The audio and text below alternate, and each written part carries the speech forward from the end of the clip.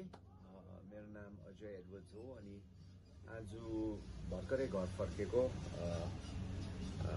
नौ बज्नु लागेको रहेछ अनि यो यो कुरा चाहिँ मलाई भन्नु चाहिँ आज फर्केर पनि मलाई यो महत्त्वपूर्ण इम्पोर्टेन्ट लाग्यो किनभने आज हामी आर्य तल खोज त्यहाँ एउटा जग्गामा त गाडी पनि पुग्दैन रहेछ हामी आज दिनभरि झन्डै छ सात घन्टा त हिँड्यौँ ओह्रालो अनि उकालो आउँदा चाहिँ गाडीमा आयौँ हामी होइन? अनि त्यो एउटा गाउँमा जाँदाखेरि हामीले धेरै नानीहरू भेट्यो धेरै युथहरू भेट्यो होइन?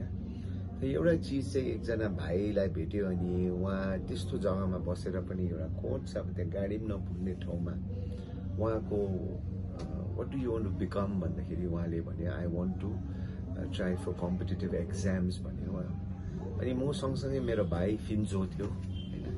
उहाँले चाहिँ युपिएससी एक्जाम्स कतिवटा उहाँको ट्राई गरे दुई तिनचोटि अनि उहाँको एउटा युपिएससी एक्जाम्स यो वेस्ट बेङ्गल सर्भिस एक्जाम्समा उहाँको एउटा एक्सपिरियन्स छ। सो उहाँ भाइले मलाई एउटा आइडिया दियो जुन चाहिँ मलाई एकदमै राम्रो लाग्यो।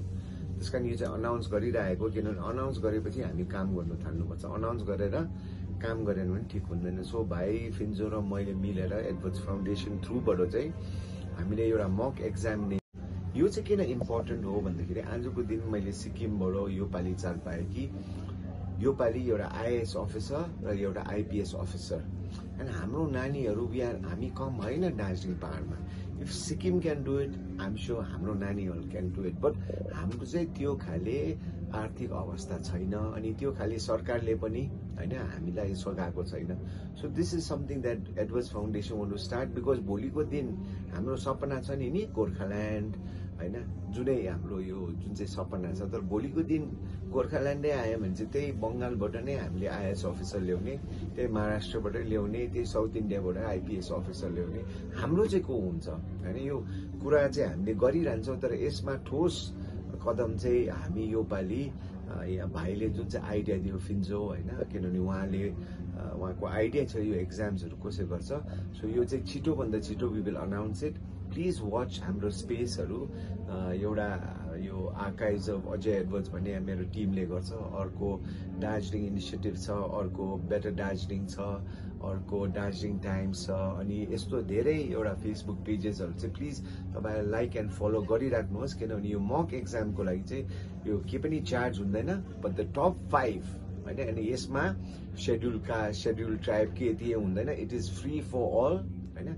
And the best five will get कोचिङको लागि चाहिँ हामीले एउटा मक एक्जामिनेसन गर्छौँ होइन? अनि that is open for every one in the hills अनि centres one centre two centres अब कति सेन्टर्स हुन्छ कतिवटा इन्क्वायरिज आउँछ। अनि हामीले चाहिँ के गर्ने भएको छ भन्दाखेरि चाहिँ फर्स्ट चाहिँ युपिएससी भन्दाखेरि फर्स्ट चाहिँ वेस्ट बेङ्गल सर्भिस यो जुन चाहिँ एक्जाम्स हुन्छ यसमा चाहिँ हामीले फर्स्ट राइस जुन चाहिँ सिलगढीमा छ अब त्यो जग्गाको एरियाको मान्छेहरू पनि they want to become officers होइन? They want to become government servants तर उनीहरूको एउटा यो जुन चाहिँ एक्जामिनेसनमा बस्दाखेरि माने फिन्जो भाइले पनि भन्यो द्याट हामीलाई चाहिँ कोचिङ भयो भने चाहिँ एउटा एज पाउँछ हाम्रो नानीहरूले होइन?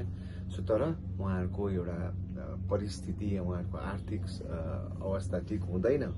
होइन सो हामीले चाहिँ यो मक एक्जाम्स गरेर फिन्जो भाइ will prepare the entire examination questions होइन and he will get a time to correct it also अनि फर्स्ट फाइभ एक्सपेन्सिभ छ but we want to give total scholarship adverse foundation होइन इन कोलाबोरेसन होइन with सिन्जो भाइ होइन to aspiring officers wants to the West Bengal service commission and then later on हामीले आइएएसको लागि पनि विल त्यो we will also do a mock exam now यो सेड्युल ट्राइब के यति हुँदैन it is free for all होइन and the best five will get कोचिङको लागि चाहिँ हन्ड्रेड पर्सेन्ट स्कलरसिप यति नै भन्दै आज जुन चाहिँ आर्यमा गएर मैले त्यो कुराहरू सुने त्यो कमान बस्तीमा गएर यो आइडियाजहरू जुन चाहिँ हाम्रोमा आउँदैछ हामीले वान बाई वान हामीले इम्प्लिमेन्ट गर्छ